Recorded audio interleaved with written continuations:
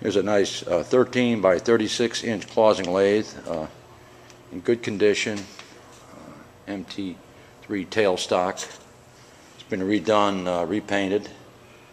It's a good clean machine. 1 and 3 eighths hole through the spindle. Variable speed machine.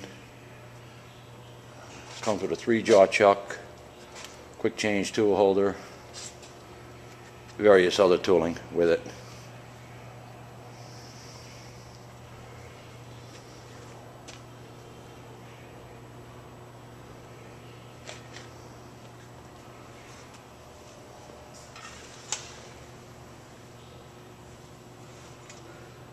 As you can see, the bedways are in beautiful condition. The lead screw is good and flat. It's not all worn out. But the uh, key thing here is the bed is not worn out. It's a flame hardened bed. Good luck.